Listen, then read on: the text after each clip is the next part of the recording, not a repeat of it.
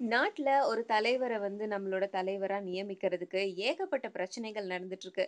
தேர்தல் அப்படின்னு ஒன்று வரும்போது, அதுல ஏகப்பட்ட பிரச்சாரங்கள், அவங்கள பத்தி இவங்க, இவங்கள பத்தி அவங்க மாத்தி மாத்தி புகார்கள், குறைகள்லாம் சொல்லிட்டு இருப்பாங்க. அது நம்ம எல்லாருக்குமே தெரியும். இது அரசியல்ல மட்டும் தான் அப்படியான்னு கேட்டா, சினிமா துறையிலையும் அதே மாதிரி தான் இருக்கு. தயாரிப்பாளர்கள் சங்கத்துல ரெண்டு அணிகள் இருக்கு எதிர் எதிரா. அவங்க ரெண்டு பேரும் ஒருத்தவங்க மேல ஒருத்தவங்க தொடர்ந்து புகார் சொல்லிக்கிட்டே இருக்காங்க. கல்யாண், அதுக்கப்புறம் கே. ராஜன் இவங்க ரெண்டு பேருடைய அணிக்கும் நடுவுல ஒரு மோதலே ஏற்பட்டிருக்கு.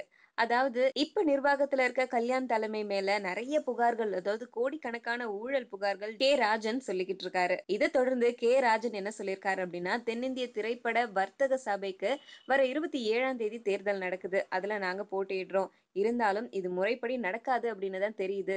ஏன்னா ஒருத்தவங்களே வந்து நிறைய ஓட்டுகள் போடுற மாதிரியான முறைகள்லாம் இங்க நடந்துட்டு இருக்கு. அதனால தொடர்ந்து கல்யாண் டீம் தான் ஜெயிச்சுட்டு இருக்காங்க. தமிழ் தயாரிப்பாளர்களால வெற்றி பெறவே முடியல அப்படின்னு சொல்றாங்க.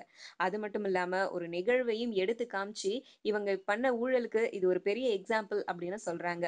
தமிழ் நூற்றாண்டு விழாவுக்கு தமிழக அரசு 10 கோடி கொடுத்துருக்கு பன்னெண்டு கோடிக்கும் மேல வசூலாயிருக்கான் ஆனா இவங்க நஷ்ட கணக்கு காமிச்சிட்டு இருக்காங்களாம். அந்த ஸ்டேடியத்தை சுத்தப்படுத்துறதுக்கு மட்டும் 75 லட்சம் செலவிட்டதாவும், வெறும் பிஸ்கட் வாங்குறதுக்கு 20 லட்சம் செலவு செஞ்சதாகவும் கணக்கு எழுதியிருக்காங்களாம்.